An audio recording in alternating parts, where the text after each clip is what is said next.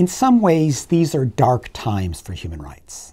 But while the autocrats capture the headlines, they have spawned a powerful resistance. The excesses of autocratic rule are fueling a reaction. Now, there's no doubt that authoritarianism is on the rise, with Brazil's Bolsonaro being the latest example. He joins the ranks of people like Erdogan, Sisi, Duterte, Orban, Putin, Xi Jinping, and Trump.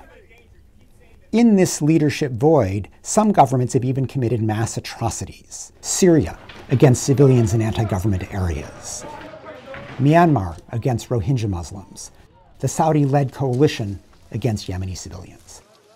That's the bad news. But what's impressive as you look back over the past year has been the pushback. We've seen large demonstrations in Poland and Hungary. Voters ousted corrupt or autocratic rulers in Malaysia, Maldives, and Armenia. There's a new reformist prime minister in Ethiopia. U.S. midterm voters rebuked Trump's divisive policies. Now, much of this pushback occurred at the UN despite the fact that the large Western powers were largely absent.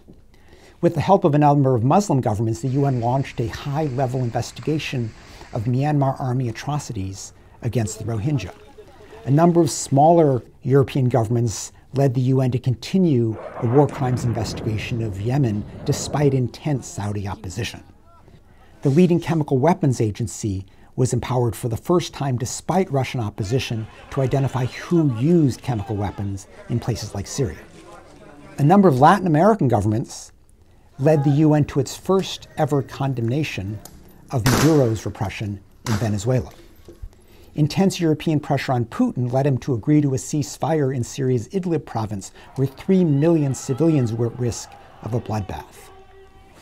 The last year shows that even in dark times, it is possible to defend human rights. Indeed, there is a responsibility to do so.